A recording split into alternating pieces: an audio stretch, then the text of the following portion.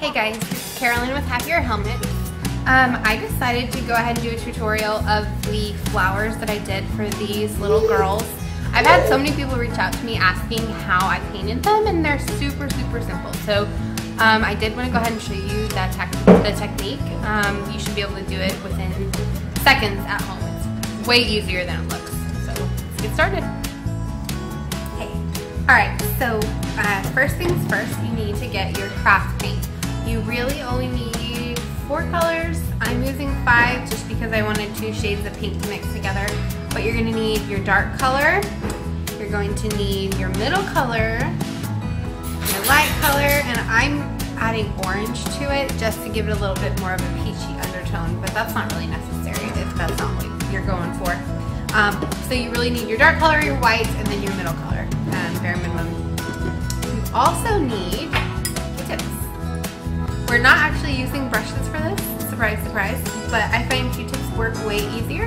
You can toss them um, and just use several if you want to, and it just really helps to blend and make your flower look the way that you want it to look for this particular style. Um, you also want to be sure to paint your base color first because it's a lot easier to draw these flowers or paint these flowers on top of your base color um, instead of trying to fill in your background around the floral uh, design that you did. So, start there. So what you're gonna do is start by mixing your base color.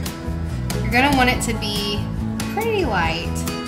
Um, that's gonna be the background color for your flower. I'm gonna just mix these pinks together, add a little bit of orange in there play around with it until you get it where you like it. Zoe. Okay. You're gonna start making just a flower shape with that base color.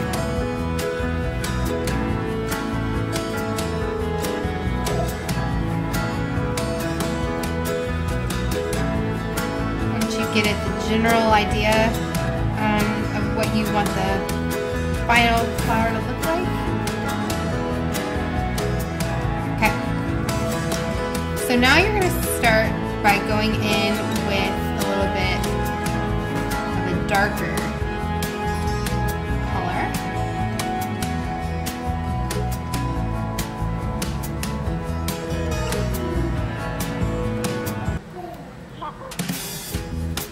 And you're just going to make little comma-like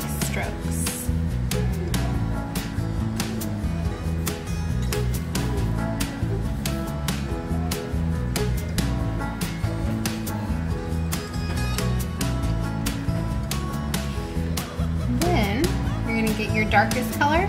Start at the center.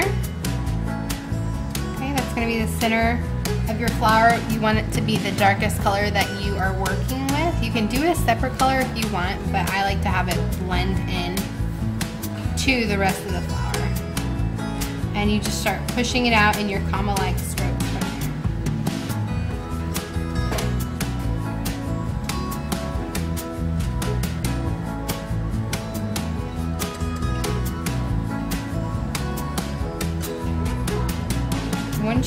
That darkest color in there, time to go back in with your white and start highlighting.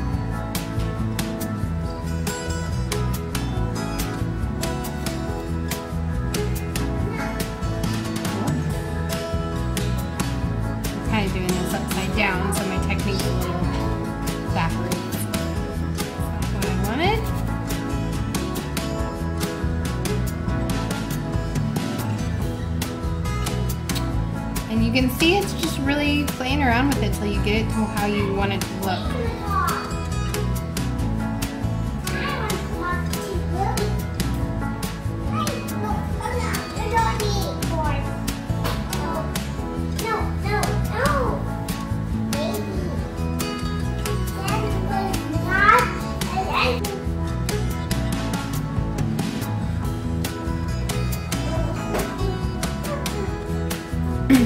anyway, there you have it. Super easy.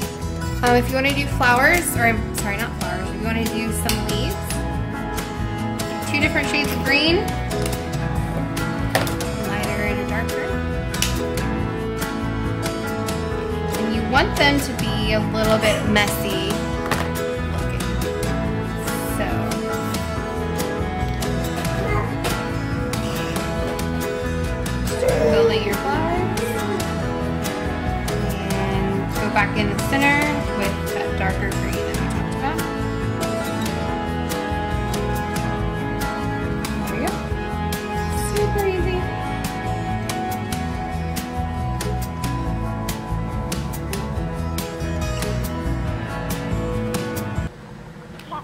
Anyway, I hope this helps. And they're way easier than they look. And you just, all you really need to do is play around with it until you get them how you like it. Using Q-tips and super cheap craft paint from the craft store from Walmart. There you have it. I hope that that was helpful. Um, like I said, it's really, really easy. Anybody can paint those. Um, you just kind of have to know the technique, but they look way more intricate and difficult than they actually are. So anyway, hope that that helped you guys and I hope y'all have a great day. Bye.